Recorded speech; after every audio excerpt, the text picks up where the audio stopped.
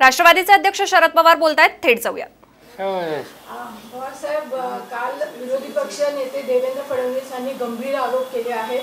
त्यांचं असं म्हणणं आहे की हे सरकारची जी सगळी सिस्टीम आहे ती विरोधकांच्या विरुद्ध खोटे पुरावे तयार करणं त्यांना अडकवणं विशेषतः देवेंद्र फडणवीस गिरीश महाजन अशा नेत्यांना अडकवण्यासाठी हे सुरू आहे.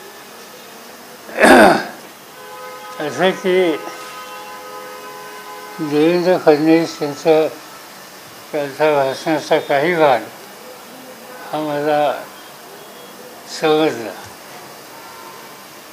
माझ्या मते गेले वर्ष दोन वर्ष महाराष्ट्राची सत्ता त्यांच्या हातातून गेल्याच्यानंतर विविध केंद्रीय एजन्सीची मदत घेऊन ती इतर शासन जी स्टॅबिलाइज करण्याच्या दृष्टिकोनातून त्यांचे जे प्रयत्न आहेत आणि त्याच्यामध्ये यश मिळत नाही त्यामुळं अशा प्रकारची चुकाची भूमिका त्यांनी घेतली असावी.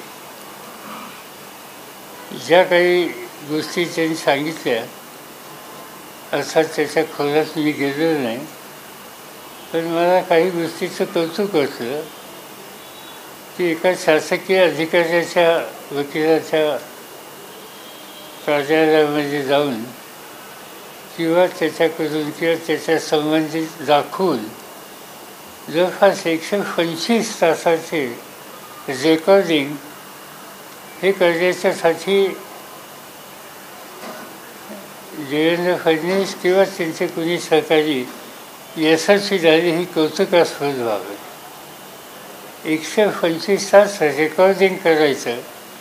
याचा अर्थ ती रेकॉर्डिंगची प्रक्रिया किती दिवस चालली असेल याचा हिशोब केला तर आपल्या हे लक्षात येईल आणि एकशे पंचवीस तास रेकॉर्डिंग करण्याचं काम खरंच जर असेल तर मग त्यासाठी तशा शक्तिशाली एजन्सीज याचा वापर केला असण्याची शक्यता नाकारता येत नाही.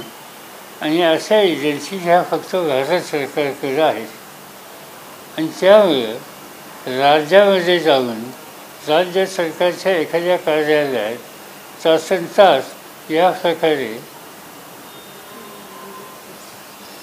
स्टॅफिंग किंवा जे काही त्यांनी काम केलं की त्यांच्याकडं हे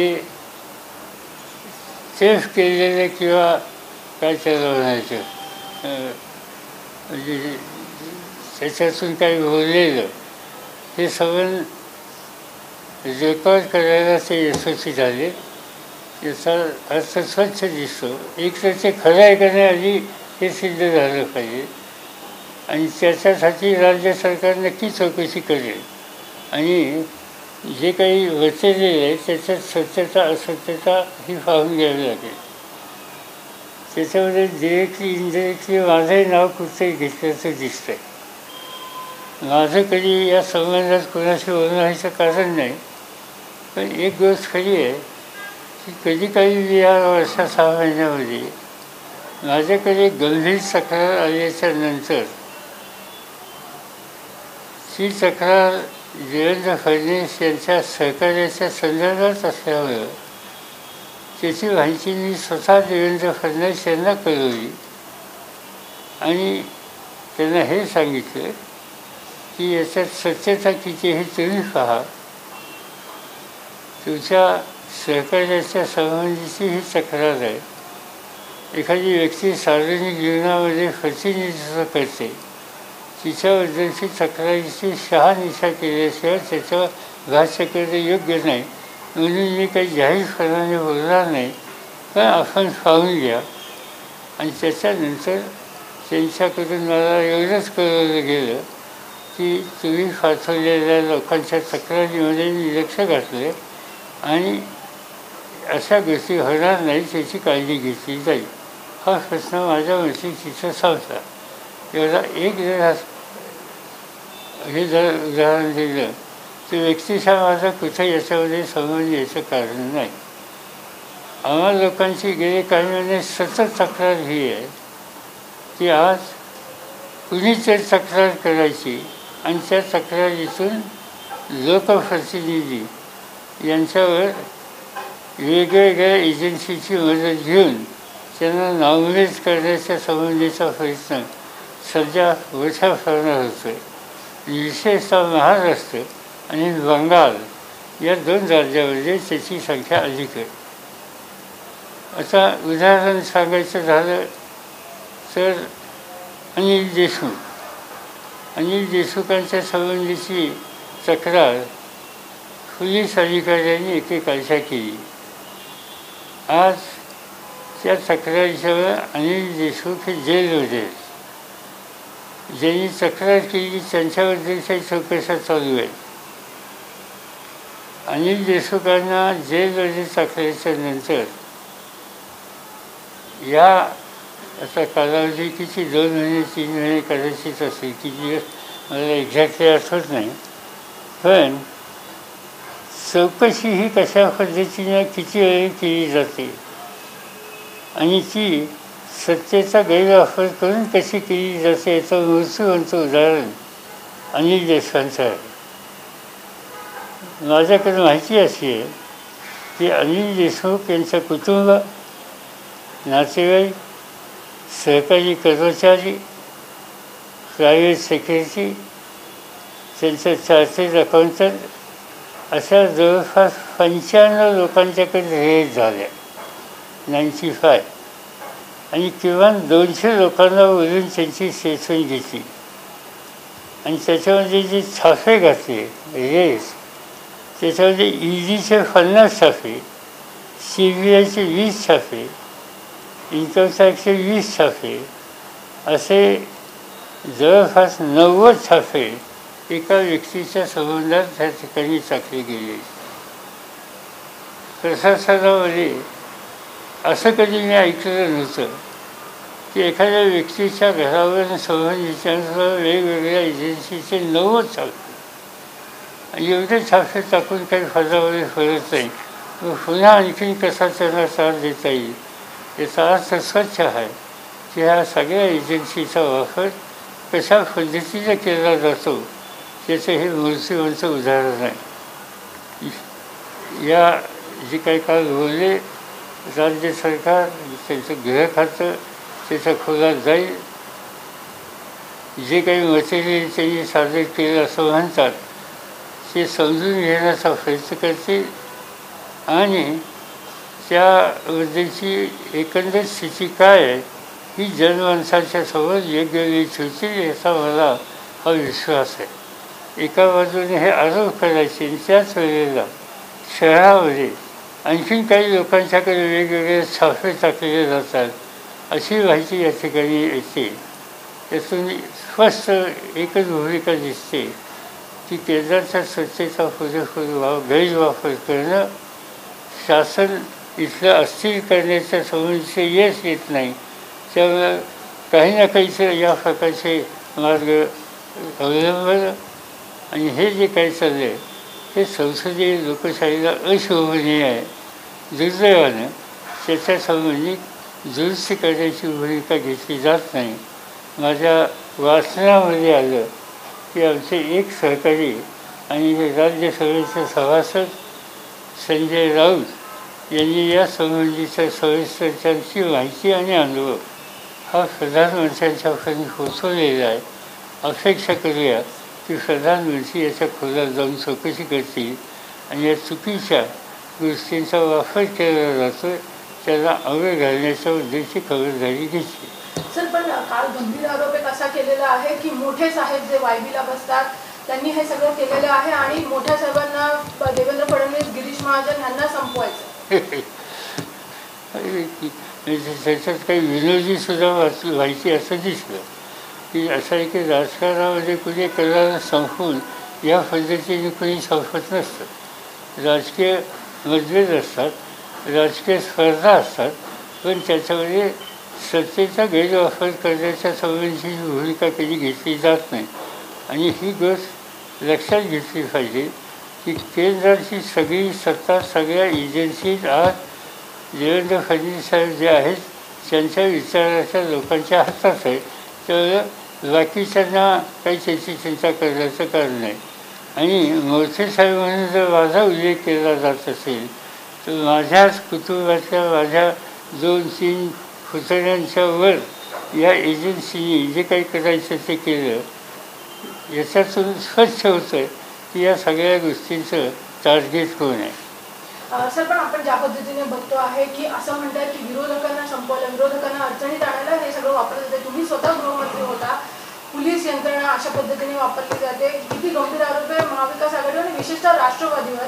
कारण राष्ट्रवादीच्या नेत्यांवर नेत्यांना गंभीर आरोप झाला तर नवा मलिकांचा राजीनामा व्हावा ही देखील मागणी आज मोर्चा पण आहे मोर्चा काढून त्यांना त्यांना जे करायचं ते लोकशाहीचं म्हणजे त्यांचा करायचा अधिकार आहे त्याच्याबद्दल माझी तक्रार नाही. पण मी काल ऐकलं की हे जे काही काल विधिमंडळामध्ये केले त्याचं विश्लेषण काही लोकांनी आज केलं. किंवा ही केस आत्ता आमची जुनी केस केली होती.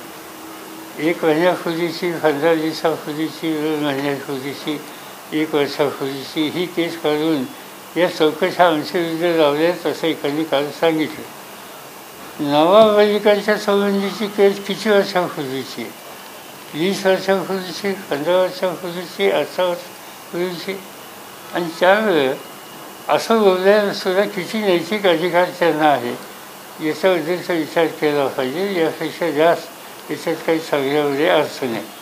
सर ज्या पद्धतीने काल फडणवीसांनी हा संपूर्ण बॉकेशोध केला आहे. राज्य सरकार म्हणून आता काय नक्की अ, पुढचं पाऊल असेल राज्य सरकार असं ते राज्य सरकारला विचार. मी काही राज्य सरकार म्हणजे नाही पण राज्य सरकारच्या वतीनं माझी खात्री आहे आज उद्या पोझिशन कदाचित आजच अ, सर पण हे आ- आरोपाने तुम्ही कसं गंभीर बोलता? कारण तुम्ही गृहमंत्री राहिलाय सरकारी वकिलांच्या ऑफिसमधलं हे फीड बाहेर जात आहे अ, याआधी रश्मी शुक्लांच्या बाबत पण फोन टॅपिंगचे आ- आरोप केसेस दाखल झाले आहेत ह्याला तुम्ही कसं बघता? नाही, ते सरळ असं आहे की याच्यात जे काही आता शासकीय वकिलाच्या कार्यालयामध्ये आम्ही म्हणजे तिची ही माहिती आहे. असं म्हणणं आहे ते जर खरं असेल तर एकशे पस्तीस तास एकशे पस्तीस का एकशे पंचवीस अकरा कमी होईल. मला वाटतं इतके तास त्या ठिकाणी रेकॉर्डिंग करण्याच्या संबंधीची क्षमता ही कुणाकडे असणार कोण करत असेल?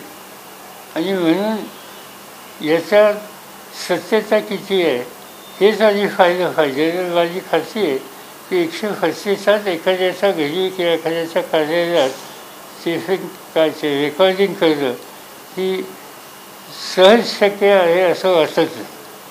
पण बघूया ज्यावेळेस त्याच्या खोल्या जातील त्यावेळेला स्वच्छ होईल. आणि दुसरी गोष्ट आहे ती केस आता कोर्टामध्ये केली म्हणतात तुम्ही? काय ते रश्मी शुक्ला. शुक्ला शुक्लांची केस. आता कोर्टात फॅसिलिटी कोर्टात समजेल पण तिथं सुद्धा असं सांगितलं जातं मी काही लोकांचं स्टेटमेंट वाचलं की त्यांचा टेलिफोन नंबर नाव दुसऱ्याचं आणि तो टॅप केला जातो आहे अशी तक्रार आहे. आणि ही जर सत्य असेल तर किती गंभीर आहे. आणि त्यासाठी या यंत्रणेचा वापर हा पाठीमागच्या राजवटीमध्ये कसा केला जातो हेच या ठिकाणी स्वच्छ होते सर गेल्या काही दिवसापासून या सगळ्या यंत्रणांचा वापर होते परंतु महाविकास आघाडीतून सुद्धा चोख आता उत्तर देणं गरजेचं आहे का? कारण अनेक नेत्यांवरती कारवाई जी आहे ती वारंवार होताना दिसते. त्यांचे देतातच उत्तर द्यायला पाहिजे की त्यांचं काम आहे ते देणार उत्तर आता याच वर्षाची काळजी मांडणी केली. ते त्याच्याबद्दलचं काय जी भूमिका असेल सरकारची असेल सांगितली जाईलच ना. सर असं वाटतं का की हे सरकार अडचणीत आहे आणि राष्ट्रपती राजवटीकडे वाटचाल सुरू झालेली आहे? असं आहे की या सरकारला कोणी धक्का लावू शकत नाही. या सरकारच्याकडे स्वच्छ भगवत आहे. आणि स्वच्छ भगवत असल्याच्या नंतर सरकार हा अस्थिर करण्याचा प्रयत्न चालू आहे. त्याच्यातून सत्ता फुलं कशी मिळवता याबद्दलची काळजी घेतली प्रयत्न चालू आहेत. पण त्या प्रयत्नाला विधिमंडळाच्या राष्ट्रवादी असो काँग्रेस असो शिवसेना असो किंवा सगळ्यांना पाठिंबा देणारे अन्य घटक असो यांच्या सदस्यांच्याकडून प्रतिसाद मिळणार नाही. तसंच संजय राऊतांनी पंतप्रधानांना जे पत्र दिलं आहे त्याचं अभिनंदन सुद्धा राहुल गांधींनी सुद्धा केलं आहे. त्यांनी असंही म्हटलं की काँग्रेस सुद्धा तुमच्यासोबत असेल कारण केंद्रीय यंत्रणांचा वापर जो आहे तो मोठ्या प्रमाणात होतोय. तुम्ही जो लढा देताय तो योग्य आहे असं राहुल गांधींनी सुद्धा म्हटलं. असं आहे की ही भूमिका म्हणजे असं उदाहरणार्थ महाराष्ट्राची जी भूमिका आहे त्याच्यामध्ये जे काही चाललंय दिल्लीच्या सत्ताधारी घटकांचं त्याला काँग्रेस असो राष्ट्रवादी असो शिवसेना असो या सगळ्यांचंच विरोध आहे. त्यामुळे राहुल गांधींनी भूमिका जी घेतली संजय राऊतांच्या ॲक्शनच्या संबंधीची ती आमच्या सगळ्यांच्या विचाराशी सुसंगत आहे.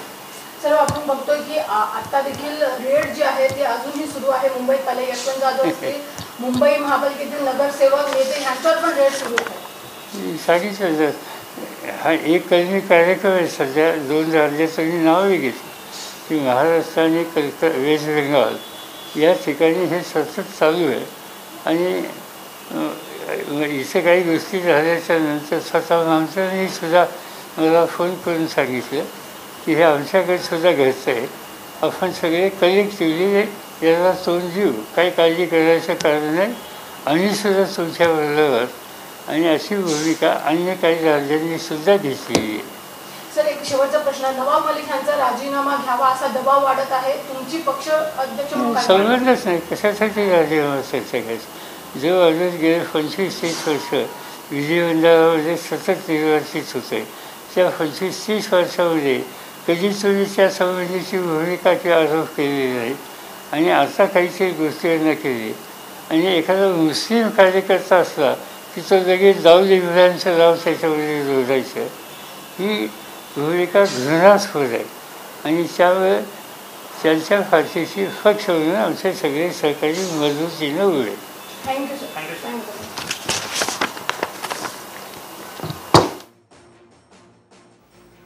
राष्ट्रवादीचे अध्यक्ष शरद पवार यांनी प्रतिक्रिया दिलेली आहे. सरकारला कुणीही धक्का लावू शकत नाही. सरकार अस्थिर करण्याचे प्रयत्न सुरू आहेत पण सरकार पाच वर्ष टिकणार असं शरद पवार यावेळी म्हणालेले आहेत.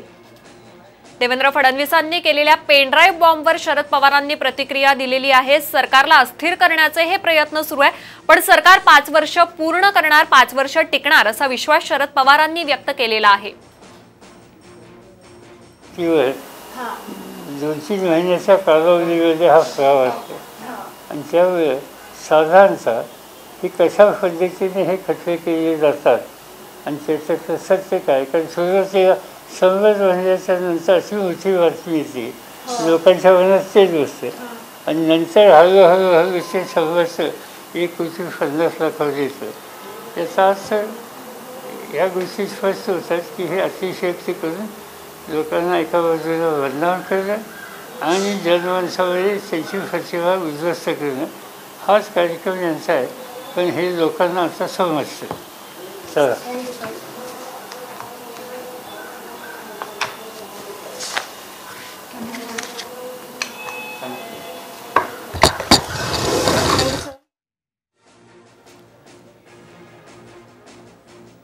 नवाब मलिकांच्या राजीनाम्याचा संबंधच नाही. असं म्हणत आम्ही नवाब मलिकांच्या पाठीशी आहोत असं सुद्धा शरद पवारांनी यावेळी स्पष्ट केलेलं आहे. नवाब मलिकांच्या राजीनाम्याची मागणी होती पण त्यांच्या राजीनाम्याचा संबंधच येत नाही. आम्ही पक्ष म्हणून त्यांच्या पाठीशी आहोत असं शरद पवार म्हणाले.